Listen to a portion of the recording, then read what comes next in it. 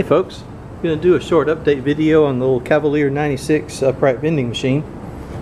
I've pretty well got it working. Um, we've ordered a new faceplate for it which has the uh, the Have a Coke light um, lens and the correct change only lens. Cleaned up in here. I've taken all the works out and just washed it with uh, degreaser and water and then uh, re-lubricated everything that got washed you know? So it all moves freely. The uh, coin changer is very intricate. This thing has a lot of moving parts in it. Uh, there's even a, a, little motor inside here and a cam that turns. It's it's uh, quite an intense instrument. And uh, it is I say electromechanical, but there's nothing electronic at all in it. It's purely switches and mechanical devices. And it's a 10 cent vending system. So the way this should work, if I put in a dime, um, that should unlock it where a bottle can be pulled out. And so right now, it's locked. Now when it unlocks, this light will come on here and that would tell you have a Coke, telling you it's unlocked. So I'll put in the dime. I think there it goes. So that tells us it's unlocked. And if I reach in here, I'll simulate pulling out a bottle. You can do it one time and it's locked again. Now the light goes off.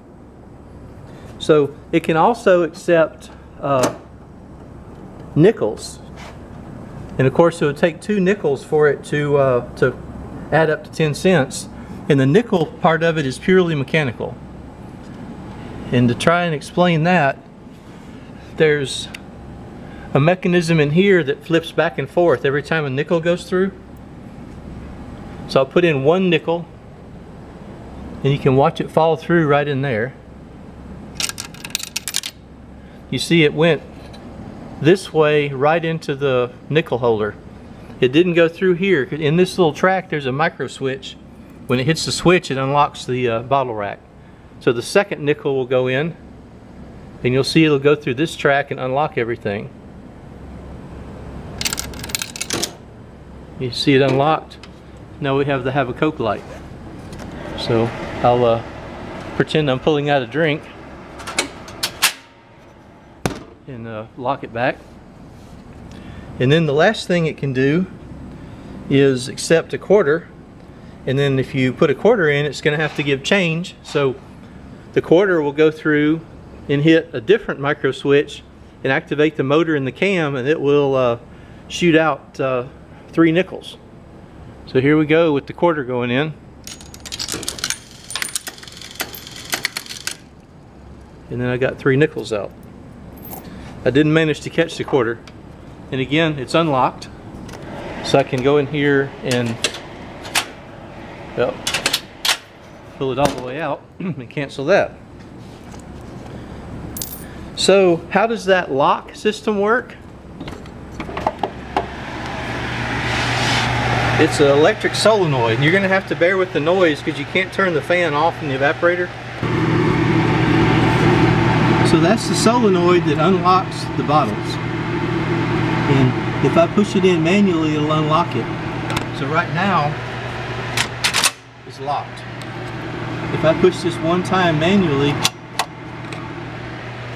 now it'll work. So what's happening, that's the actual latch mechanism. So if I unlock it, see there's a bar that stayed to the left, then when I pull out a bottle, it resets it. Watch that again solenoid. And then uh, there's a, a, switch that's activated to make the light come on.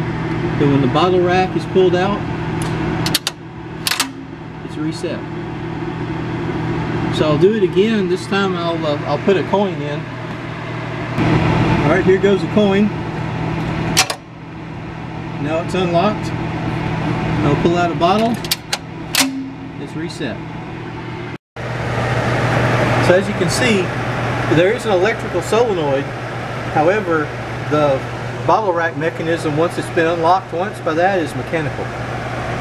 And then of course, um, the condensing unit is back in place with its uh, with its wiring all fastened down. And I've put some of that gum in there to, to seal that. Got everything hooked up. So I'm going to go for a condensing unit start. Right at three and a half is where it worked best earlier.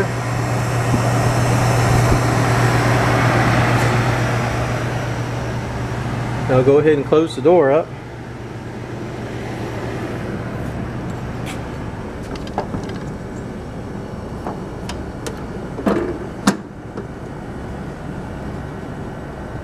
So functionality is uh, good so far.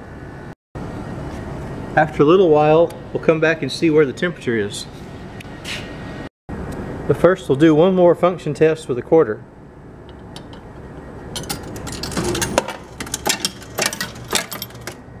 Alright, got change. Now if I open this up, I'll be able to actually grab this bottle and you'll see how the mechanism will allow me to pull it out and when it's pulled partially the light cuts off but if I were to cheat and try and hold this back the next bottle will not come come in position until I let go of the gate. It's already locked back. There's yet not another bottle. Only when I fully release it does the bottle come down. So you can only get one at a time. So it looks to me like uh, mechanically and electrically everything's working fine. I'll be really excited to see this new faceplate. Uh, it's it should make this thing look a lot better. And I'm, I'm going to of course temporarily install it but uh, we're not going to actually glue it on because the exterior this is going to get a new paint job. But uh, for now it's going to stay plugged in here for a cooling unit test run for, uh, for uh, several days. And I'll probably load it up with some water bottles because that's the best way to know if it's cooling properly or not if uh, their bottles are cold to the touch but not frozen. And uh, the temperature's already dropping. Already dropped about five degrees. It's got a lot of cooling power. So with this change making system there's actually a limit switch in the back of this uh, nickel container. And if uh, there's no nickels in there um, it won't let you put in a quarter. It's uh, it locks that function out. There's a solenoid behind this part that blocks the path of the quarters, and they'll always fall through the reject chute if uh, if it's out of nickels. And when it makes change, this mechanism slides left and right and uh, and ejects the uh, the nickels, and then the solenoid here releases uh, the the mechanism to slide only the three times. So uh, I'm going to put a quarter in and you can watch how that deal works and see, see what it does. Dropping the quarter now.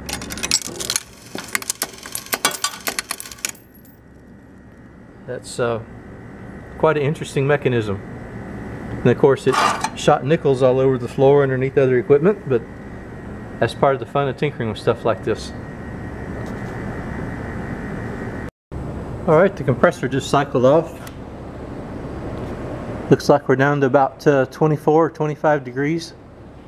Which uh, this is a cycle defrost system, so it'll warm up to above 32 and let the uh, any ice melt off the evaporator. But in order to keep the drinks ice cold, it has to go well below freezing on the run cycle.